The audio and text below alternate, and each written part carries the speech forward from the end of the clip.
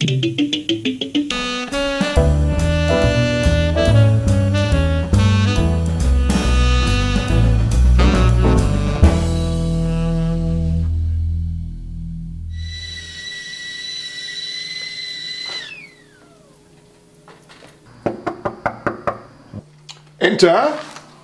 Mr. Holmes, my name is Lucy Lovelace and I desperately need your help. Of course. Please sit. Please. Thank you. Now, what seems to be the problem? I feel like I'm losing my mind. All sorts of strange things are happening to my body. I see. And why do you think I can help? Uh, my girlfriend Sarah told me that you helped her with her breast problem. Now, Holmes, how did you help a young woman with a breast problem? Well, Watson, her girlfriend wanted bigger breasts, so I suggested she'd rub her breasts every day with toilet paper. Toilet paper? How on earth does toilet paper expand breast size? Elementary, my dear Watson. I merely pointed out how it had worked on her bottom. Brilliant, Holmes. Absolutely brilliant. Now, young lady, what strange things are happening to your body? Well, I've gone blind in one eye and my toes seem to be growing at an alarming rate. Hmm.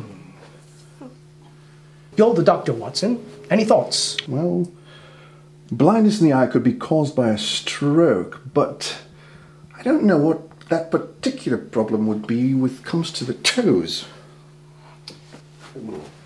Elementary, my dear Watson. Abnormal toe growth is common among sexually frustrated women. What Lucy needs is to get married and end her frustration. I say, Watson, you're in the market for a wife. You can't spend your whole life and all your money at that gentleman's club. Do you fancy this young lady? Mm, indeed, I do. She's quite attractive, but what if she doesn't fancy me? You know, the two of you are talking about me as if I'm not right here. It's true, I am sexually frustrated, but I'm very particular about whom I copulate with, and quite frankly, Mr. Holmes, I'm more attracted to you than I am to Dr. Watson. Oh. Well, then, if you're agreeable, my dear, perhaps a trial marriage could be arranged.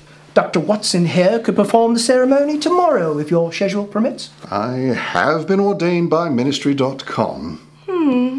The wife of the world famous Sherlock Holmes. That does seem agreeable. I'll see you tomorrow. Oh, indeed.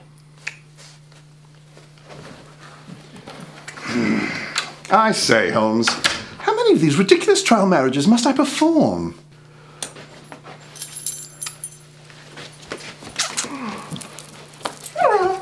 Do we run out of room, my dear Watson?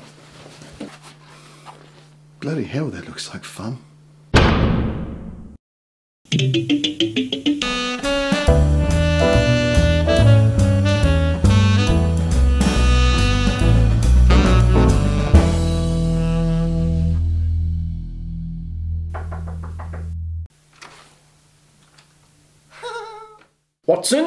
this one's for you.